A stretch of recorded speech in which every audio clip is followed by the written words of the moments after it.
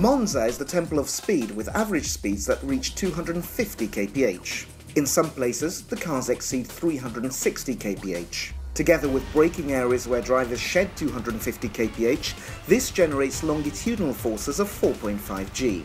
These conditions raise the temperature of the compounds up to peaks of 130 degrees. The significant amounts of energy under braking and at high speeds create plenty of hysteresis, repeated action in the tyre that increases the mechanical stress on the tread.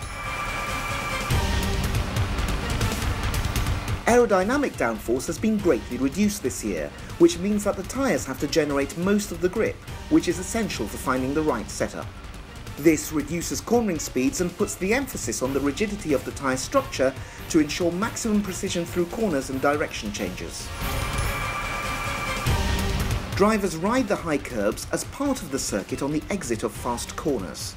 These put stress through the tyre carcass, which has to absorb some of the impact in order not to pass it all onto the suspension. The low level of aerodynamic downforce and hard decelerations under braking can cause wheels to lock up and flat spot the tyres.